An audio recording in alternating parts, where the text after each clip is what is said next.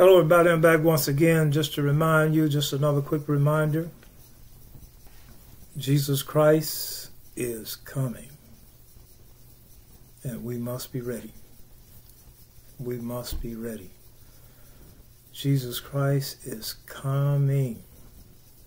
For real this time, y'all. I know that, um, I know over the years we've heard that so many times people have set dates. People have set dates, and you know, dates for the rapture. Of course, nothing happened. I could have told them that it wasn't nothing going to happen. I mean, you know, Christ wasn't coming on that date, but He's coming this time. Okay, but I'm not on here to talk about that, so I'm gonna get right into what I'm talking. About, I got on here to talk about. Okay.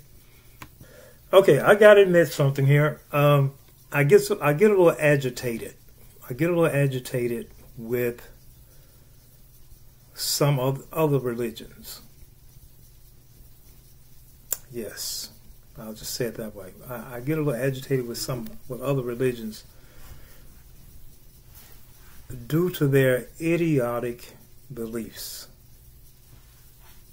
Idiotic beliefs especially people that was raised up in the church and in Christianity, and they their parents was uh, their parents knew God, they knew Christ, and these people leave the church and go into some strange religion. I've known Christians, some Christians to leave the church and go into Islam.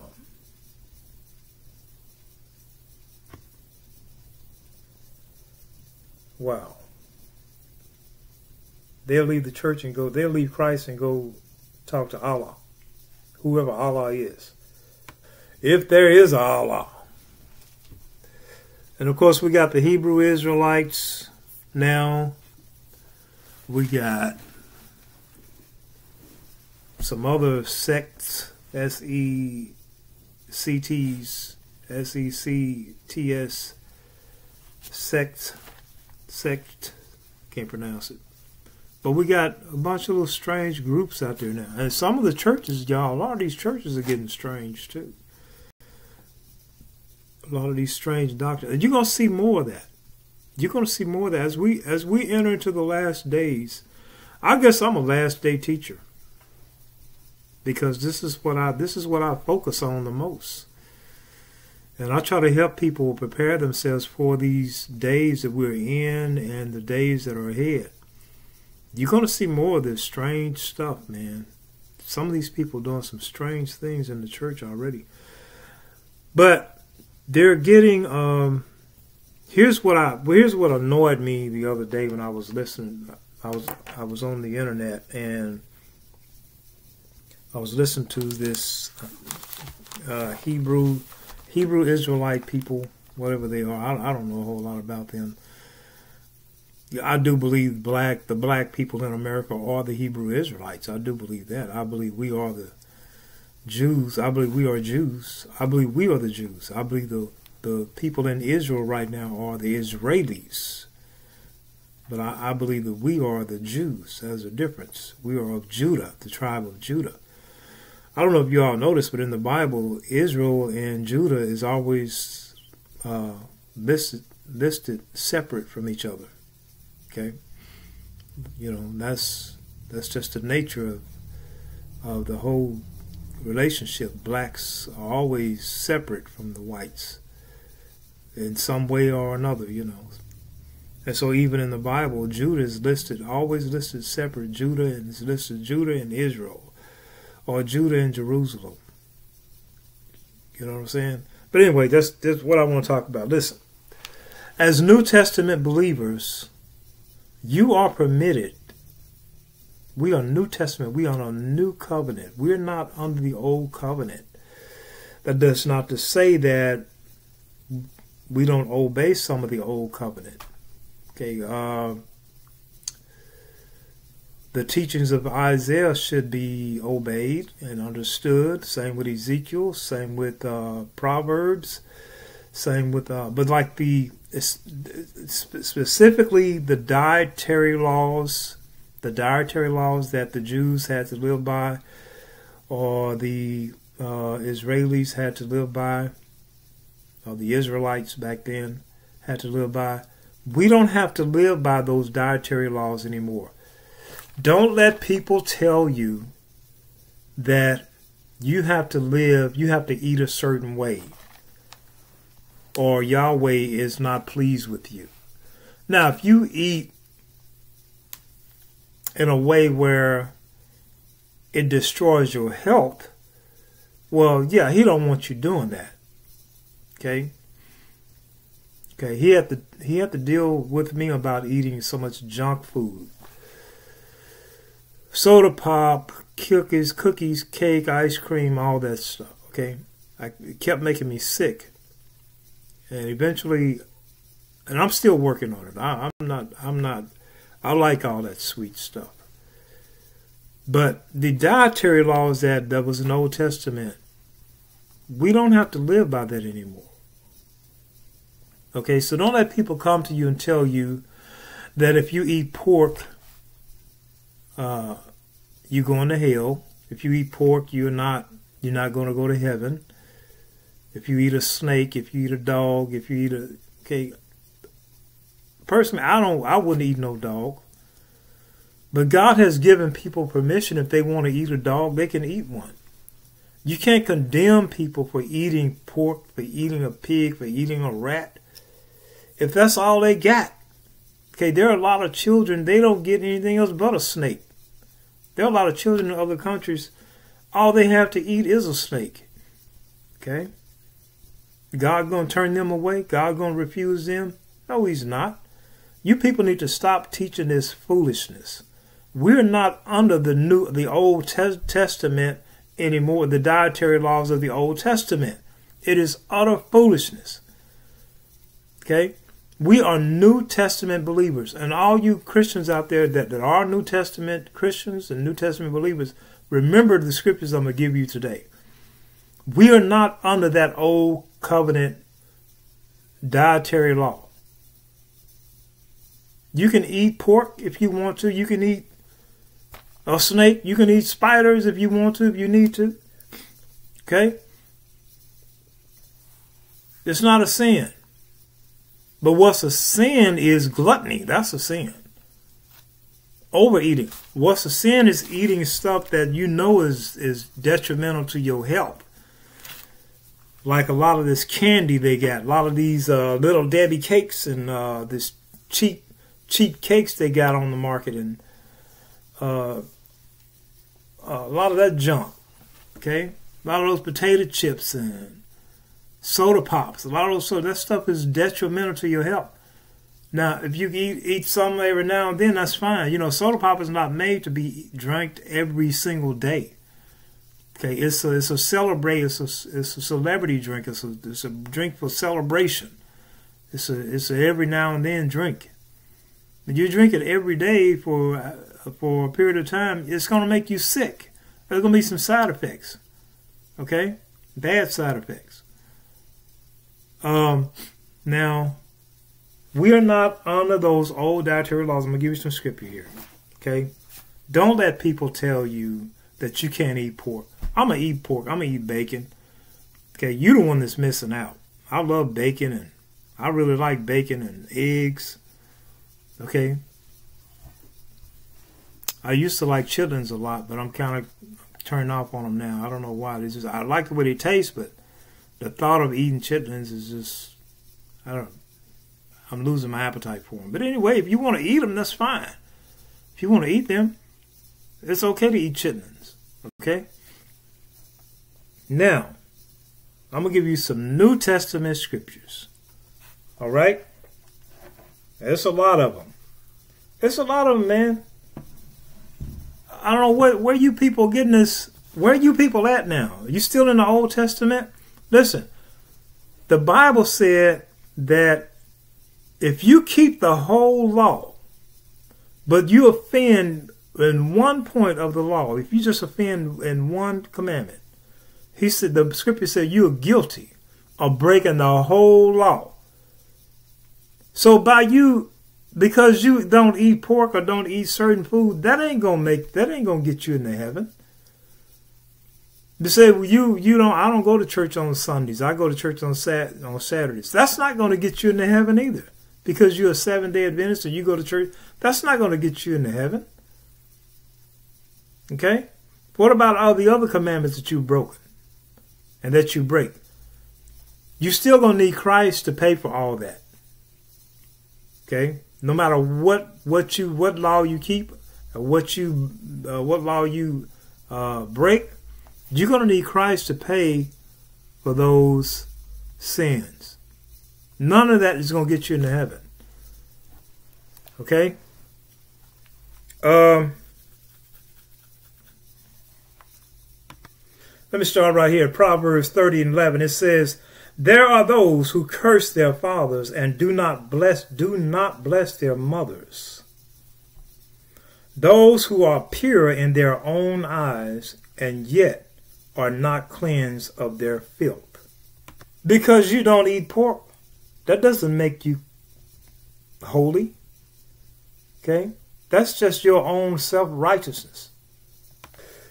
Jesus Christ said in Matthew 15 and 11, He said, A man is not defiled. Matthew 15 and 11. A man is not defiled by what goes into his mouth.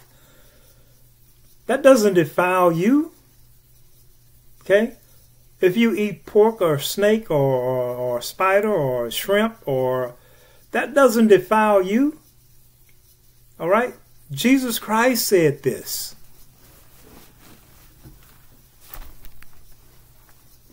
Jesus Christ said this. He said that doesn't defile you. Now, you're going to believe someone else over Jesus Christ? You're going to believe Allah over Jesus Christ? Or the Hebrew Israelites? No way, man. He said that doesn't defile you, but the words that come out of your mouth, that's what defile you. He said the food you eat, it just goes into your intestines and uh, you release it through your stool. It doesn't defile you. Here's another scripture Christ gave us. He said, if you, when you're out on a journey or a mission, he said, At the house that you reside, he said, Eat whatever they put before you. Bless it. And eat whatever they put before you. Okay? He also said, Be generous to the poor, and everything will be clean for you. These are the words of Christ. These are the words of God. These are the words of the master teacher. Don't come to me with this foolishness about we shouldn't eat pork and we shouldn't eat. Now, you know, I know it's a lot of chemicals and all kind of junk they put in the food now. You know, we can, but we can't. A lot of this stuff we can't avoid it. We we can't avoid it. Okay, we just have to bless our food and, and eat it and do the best we can and move on. If we can't afford anything else, there are a lot of people can't afford to eat lamb and beef or whatever types of other vegetables and meats that are kosher. Okay?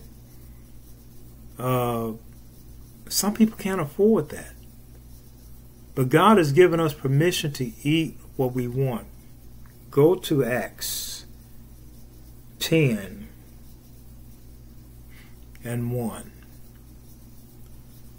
Peter, in a vision, God gave Peter a vision of these many different animals that the Jews and the Israelites considered unclean, too unclean to eat, like pigs, camels, okay, shrimp, rabbit, okay.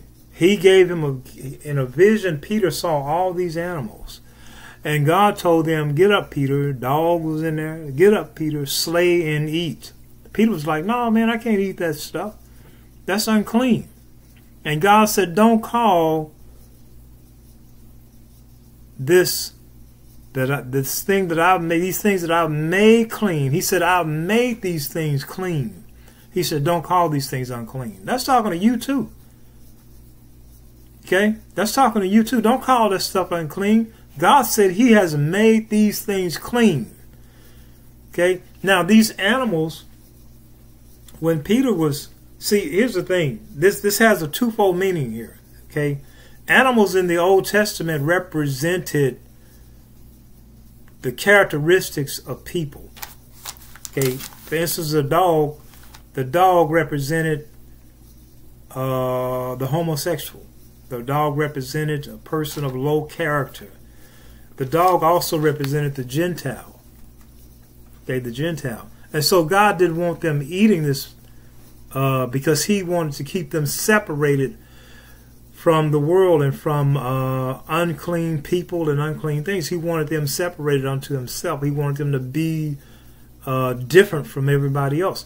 These animals represented certain characteristics in people. They also represented uh, spiritual beings. You know, the lion, of course. The lion represents spiritual beings. Uh, Satan and uh, the serpent represent. You know, they didn't want. They couldn't eat snakes because these snakes represented evil spirits, and there are certain birds they couldn't eat because those birds represented uh, evil spirits. Okay? In the Old Testament. All right? And they represented certain characteristics of people. You know, you ever heard people call other another person, man, he's a dirty rat. Because he has a sneaky, conniving, underhanded uh, way about him. Rat nature. Okay? But God said, see, God, after Christ died and rose, now he said, I'm accepting the Gentiles too. Okay? These animals represented the Gentiles, the characteristics of the Gentiles. But Christ said, now I'm accepting them too now. I'm cleaning them and washing them up and, and, and making them right too. Okay? And at the same time, it had this other meaning. It just simply means now the animals, you can eat these animals now. Did y'all read that? Go over there and read it. Read it. Acts 10, 1 through 15. Read it. Acts 10, 1 through 15. God told Peter, do not call the things that I've made clean unclean anymore. Don't call the pig unclean. The pig is not unclean. Put that thing, put some salt and pepper on that thing and put it on the grill. Okay? Now, I mean, I gotta admit, there are some there are some things about the pig I, I don't like either. But when I get hungry, I forget all about that.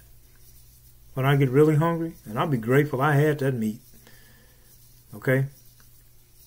It's the same with chicken. I mean, chicken disgusts me sometimes just looking at them. But chicken tastes really good. And I'm very, grateful for it. Listen, y'all, read your Bible. Okay, read your Bible. You are New Testament believers. You're not Old Testament believers. Okay? If the New Testament agrees with the Old Testament, then you are to do that. But if the old, if the New Testament do not agree with that part of the Old Testament, or or does do not repeat the Old Testament, you don't have to do that. Okay. You don't have to do what the Old Testament says if the New Testament don't repeat it. It has to be in the New Testament. Okay, because we are New Testament believers. All right, now listen. Read Acts 10 1 through 15, okay? it tells you very clearly, very plainly, that the animals now are not considered unclean anymore. Okay? They're clean. You can eat these animals. Now, if there's another scripture that says, wait a minute. Okay, now listen. If you think eating pork is unclean, then it's unclean to you, not me. Because that's what you think. Okay, that, where's my scripture at here? It says, uh, Where is it at? Where is it at? Where is it at?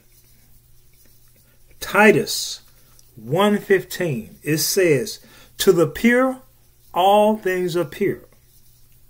But to the corrupt and unbelieving, nothing is pure. If you think it's impure, then it's impure for you, not for me. If you think rabbit, shrimp, it shouldn't be eaten, rat shouldn't be eaten, then you shouldn't eat it. Because it's going to defile your conscience. It's going to make you feel guilty. Okay? Go to Romans 4 and 1. It says, except the one who, who's, accept, accept, accept, receive. The one whose faith is weak without quarreling or disputable matters. Listen. It's saying that you may think that it's wrong to eat certain foods, but the Bible tells me to accept you, okay, without disputing with you, without quarreling with you, okay.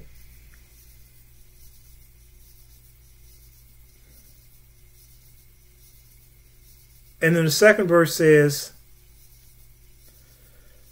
For one believeth that he may eat all things, Another who is weak eateth herbs. The person who's weak, the person that's not strong in the faith, the person who do not understand understand the scripture. He's weak. So the I'm supposed to receive you. I'm supposed to receive you without quarreling with you. Okay? But just say, come on in, man. It's all right. The one who eats everything must not treat with contempt, I must not treat you with contempt, the one who does not.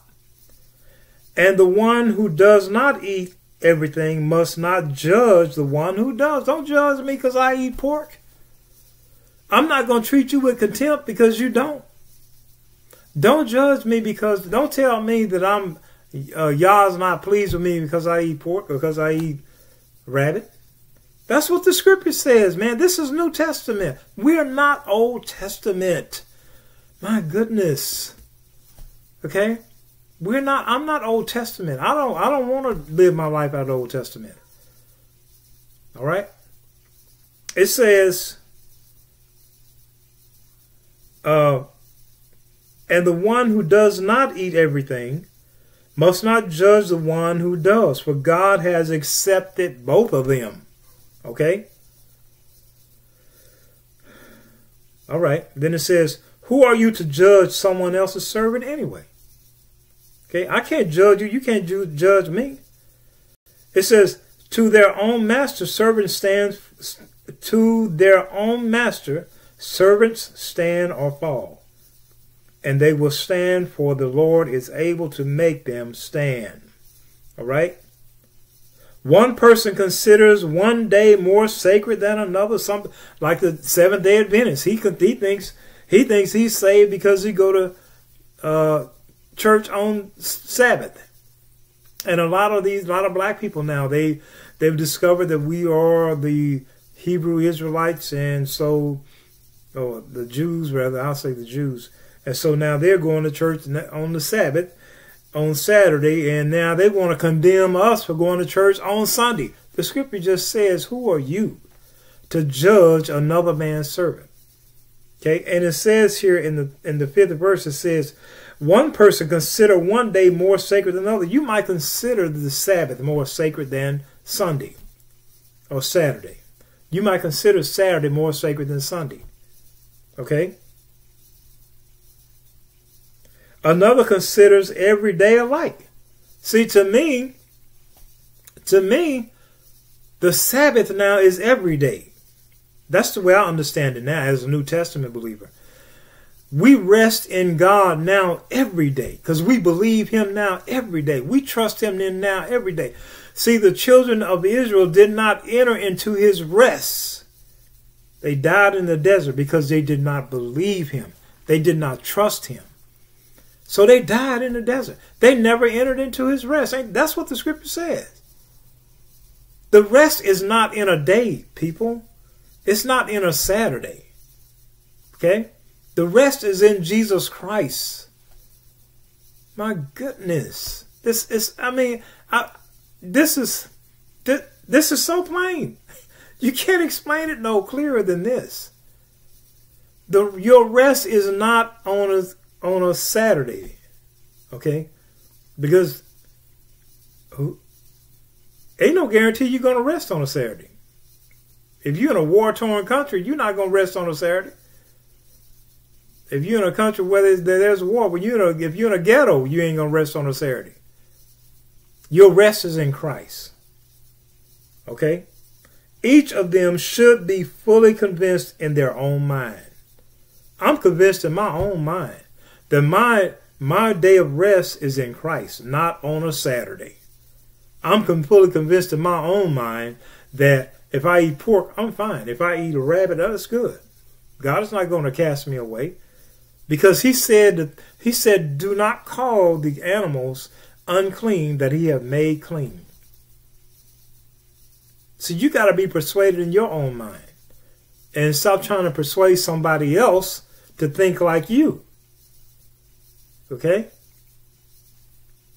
especially these allah these allah people these allah people they will hate you for eating Farrakhan and all them they will hate you for eating something that you have to eat. You can't afford to eat the way he eat.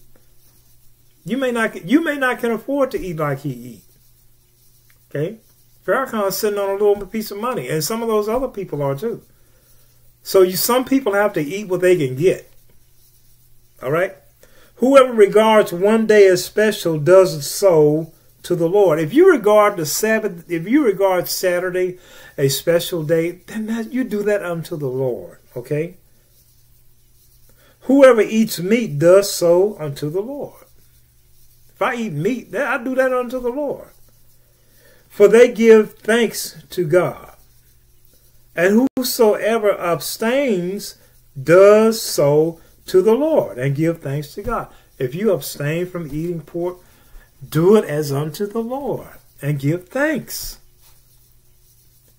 That's your business. I'm not to judge you for that, and you're not to judge me for that, for, for not eating it. You're not to judge me for not observing Saturday. I work on Saturday. That we're not that we're not under that. See, why are we not being stoned then? If if if if it's still why God is not striking us dead for working on Saturday if we are still under that? Because we're not under that anymore. We're not under that anymore. Our day of rest is in Christ. Now we'll get struck dead if we don't believe Him. Eventually, it's going to kill us, just like it did the children of Israel when they was in the desert. If you don't trust Him, but working on a Saturday, man, that ain't nothing. You know, eating pork, that's that's Old Testament stuff, people. Okay. And there's a scripture that says, that tells us that we should keep the Sabbath forever. I, I can't quote it exactly the way it goes, but it says that the Sabbath will remain forever. It's true, but it remains. It it it it it, it it's going to remain. Uh, it's going to it's going to end in one form and begin in another form. Okay. See, we're keeping the Sabbath now by living and believing Christ and living in Christ and believing Him and trusting Him and just relying on Him. We're keeping the Sabbath now. But the time is going to come when this period here is going to end, just like the Old Testament ended. In the Old Testament, the Sabbath was kept by uh, observing Saturday. Now you don't have to do that anymore. Now you keep the Sabbath by observing God's Spirit and trusting and relying on His Spirit and on what Christ have done for us. You rest in what you rest and you believe in what He has done for us. Okay? After this, in the new age or the golden age, the Sabbath is the 1,000 years. Okay? That's the Sabbath, people. You ain't gonna be going to have to go to church on no Saturday in the in the uh, one thousand year reign. I mean, you might, but you won't have to. Okay. The Old Testament was uh, like a foreshadow of things to come. Okay, it was just a foreshadow of things to come. Okay, Romans 14 and 7. It says, For none of us live for ourselves alone, and none of us die for ourselves alone. Okay, so what I do affect you, what you do affect me, and uh, I should if if eating something offend you, then I shouldn't eat it. I'm not going to eat it in front of you, and so on and so forth. I'll just tell you to go home, okay, and I just won't discuss it with you. That's the way I would do it. I ain't gonna. I wouldn't sit here and tell you, okay, man, I'm not gonna ever eat pork again because I know you don't like pork. I'm not going to tell you that. okay? If we live, it says, if we live, we live for the Lord. And if we die, we die for the Lord. So, whether we live, whether we die, we belong to the Lord. Okay? For this reason, Christ died. And okay, let me see. Wait a minute. I think I'm, I think I moved up, went over a little bit here. Okay, I'm gonna skip down to the 14th verse. It says, "I am convinced, being fully persuaded. I'm convinced, being fully fully persuaded, in the Lord Jesus that nothing is unclean in itself. This is New Testament. Are you a New Testament believer or Old Testament believer? Because if you're an Old Testament believer, you're going to be lost. Okay? You cannot be saved through the Old Testament. You cannot. Okay? The new covenant is in Christ. It says, I'm convinced, being fully persuaded in the Lord Jesus, that nothing is unclean in itself. But if anyone regards something as unclean, then for that person it is unclean. If you regard pork as unclean, then it's unclean for you. Okay? All right?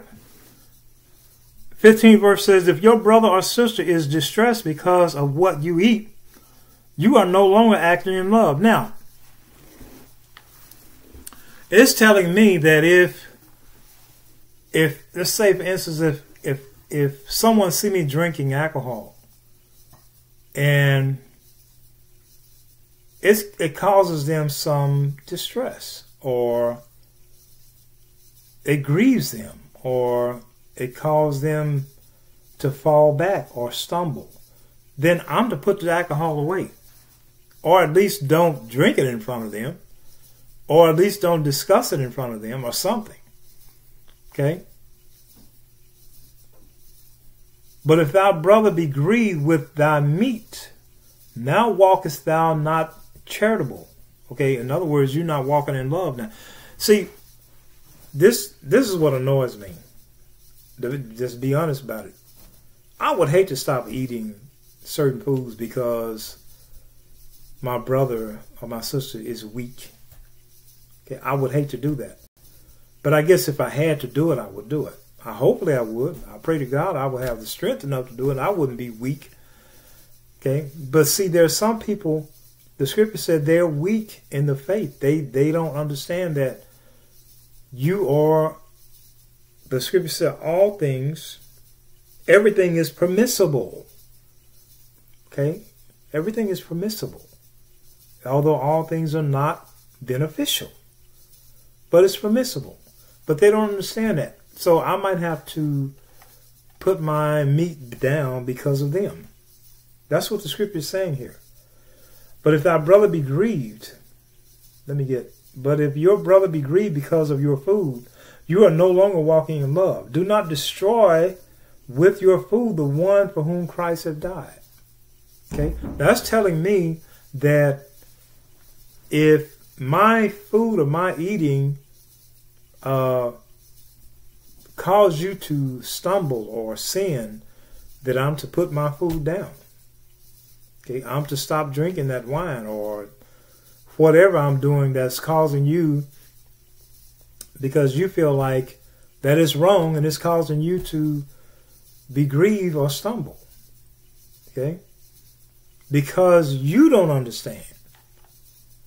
See, I understand that is good. But because you don't understand, the scripture is telling me you need to put your food down. So if I know you coming over or something, or or or, or if if eating pork offends you, then I just won't eat it in front of you.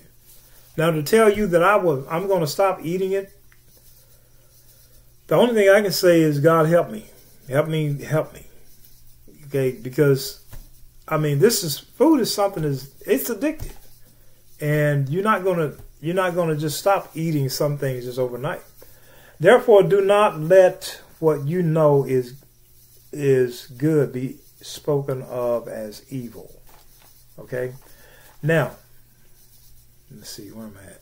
Okay, it's saying here, because it says here, for the kingdom of God is not a matter of eating and drinking, but righteousness, peace, and joy in the Holy Ghost. So it's saying to both, both of us here that don't let your food destroy yourself or your brother or your sister. Although it's permitted. It's permitted. Okay, you can eat these things, they're permitted. But there are some people don't understand. So because they don't understand, it's saying don't let this uh, be careful. Don't don't cause them to fall. Don't cause them to stumble because uh, food is not everything. Okay, the kingdom of God is not food. Okay, and food and drink, but it's righteousness, peace, and joy in the Holy Ghost. All right. All right, 1 Corinthians 10 23, 27, it says, listen what this says, 1 Corinthians 8 and 7. It says, But not everyone possesses this knowledge. Let me back up a little bit.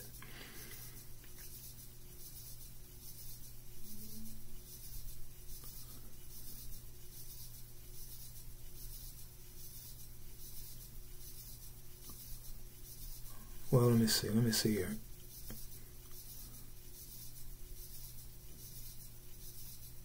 Um, okay.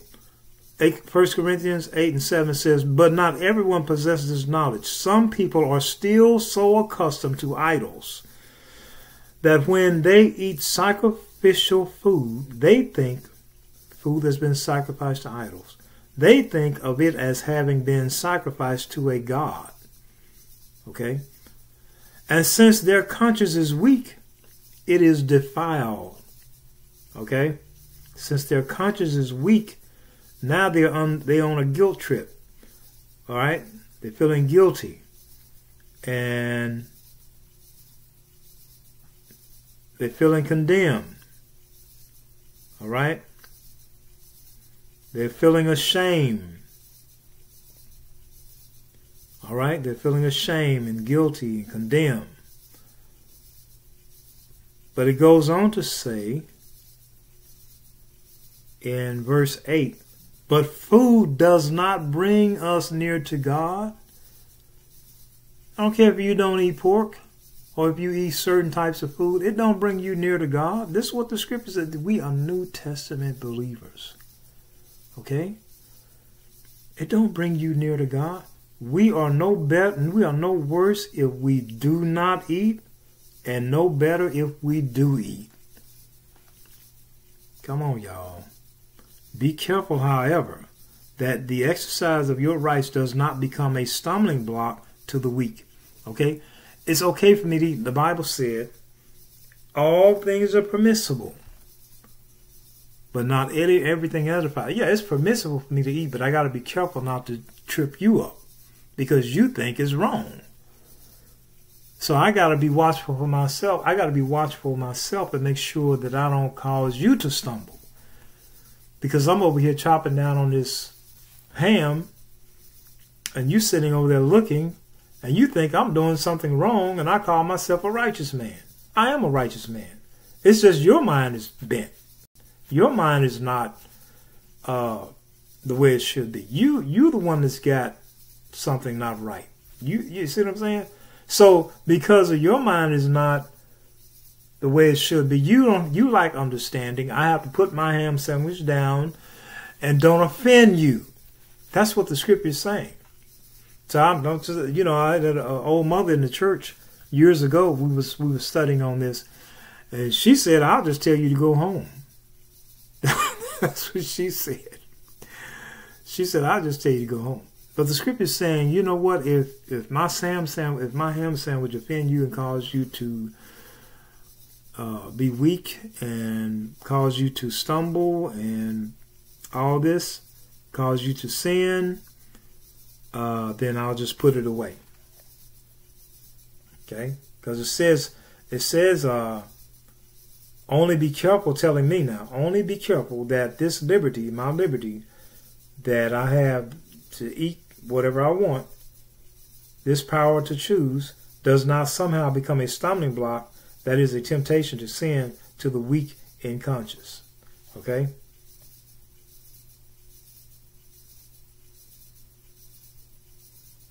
Okay, so you might you might for whatever reason you might look at this food and say, "Man, we shouldn't eat that food.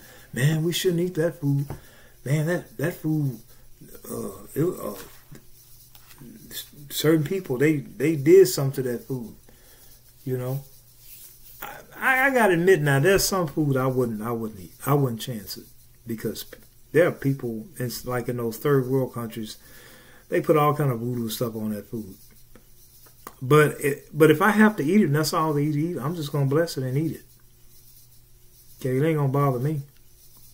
All right, but some people they can't do it because they really they think something's gonna happen to them. All right. I'm gonna give you one more scripture. Set uh, First Timothy four. First Timothy four one through four. You read it. You read it when you get a chance. First Timothy four one through four. It says, "In the latter days, some would depart from the faith, giving heed to seducing spirits and doctrines of devils." And also in the fourth verse, they go on to say that um, they will also teach people not to marry. The Catholic Church teaching people don't marry. Okay? And to abstain from certain foods, Islam and the Israelites, to abstain from certain foods. The scripture says in the last days you're going to get this this kind of stuff, teaching. Okay, read um, 1 Timothy 4 1 through 4. Okay? In the last days, People are going to teach you not to marry, teach you to abstain from certain types of food.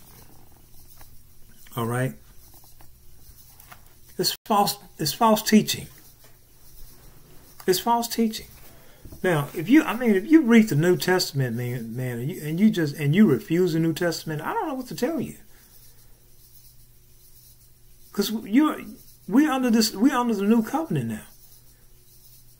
We live by the new covenant, not by the old covenant. If the if the if the old if the new covenant don't say it, we're not we we don't have to live by it. Okay? If the new covenant don't uh, teach us to do it, we don't have to live by it. Now, 1 Timothy 6, 3 and 6. Okay, look what 1 Timothy 6 and 3 says. If anyone teaches you otherwise, okay, like Islam, those Muslims, the Hebrew Israelites, even the Catholic Church, if anyone teaches teaches otherwise and does not agree with the sound instruction of our Lord, Jesus Christ and to godly teaching. You know, I just yeah, I gave you some scriptures that Jesus Christ said. He said, "What goes in the mouth don't defile you." Right? That's what he said. And I gave you some other scriptures here too. All right. He said, "Be generous to the poor, and everything everything will be clean for you." All right. It says, if anyone teaches otherwise and does not agree to the sound instruction of the Lord Jesus Christ and to the godly teaching, they are conceited the Bible says these people are conceited and understand nothing. This is what the Bible said. They are conceited and understand nothing. They have an unhealthy interest in controversies and quarrels about words that result in envy, strife, malice, uh, malicious talk, evil suspicions. Okay? Did you get that? And constant friction between people of corrupt minds who have been robbed of their truth. Okay? Yeah, you, you might have become a Hebrew Israelite, but you've been robbed of your truth. You may have become a, a, a Muslim, but you have been robbed of your truth. And who think that godliness is a means of financial gain. But godliness is contentment and is great gain. Okay? So if anybody come to you teaching anything else other than what Christ have already taught us about food and what Paul has taught us about food, the Bible said these people are conceited and they know nothing. All right? They are full of they are argumentative and full of quarrel, quarreling. What is another word for conceit? Conceited.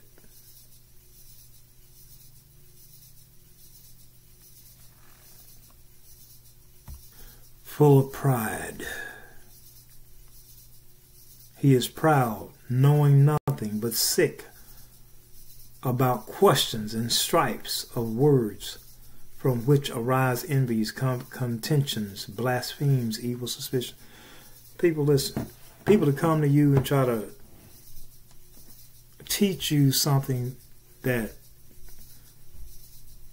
is clearly Christ have taught us differently, and they want to teach they want to teach you something other than what Christ or teach you something against what Christ have already taught us. Just you know, just get away from them. Don't listen to them. Okay? Don't listen to them.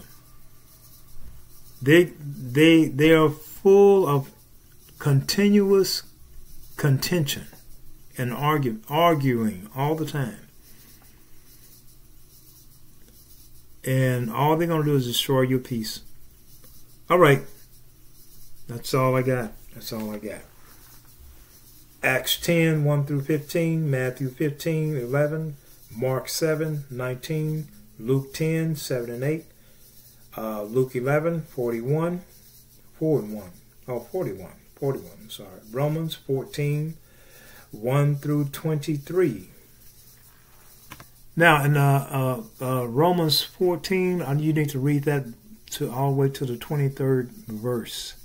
Romans chapter 14, 1 through 23. Okay? And you can see in the 23 verse it says, But whosoever has doubt is condemned by they if thou eat, because their eating is not from uh, not from faith. And everything that does not come from faith is sin. Listen, you can eat if you you you can eat and you don't do it in faith, it's a sin.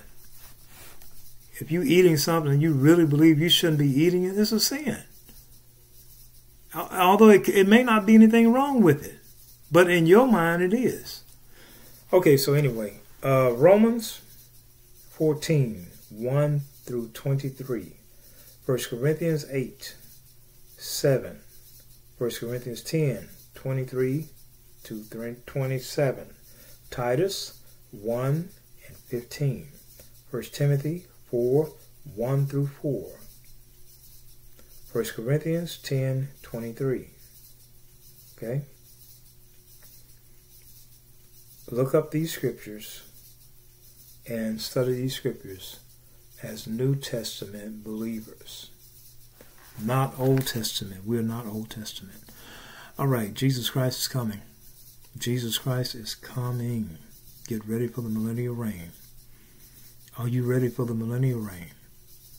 Do you want to be free free from this body.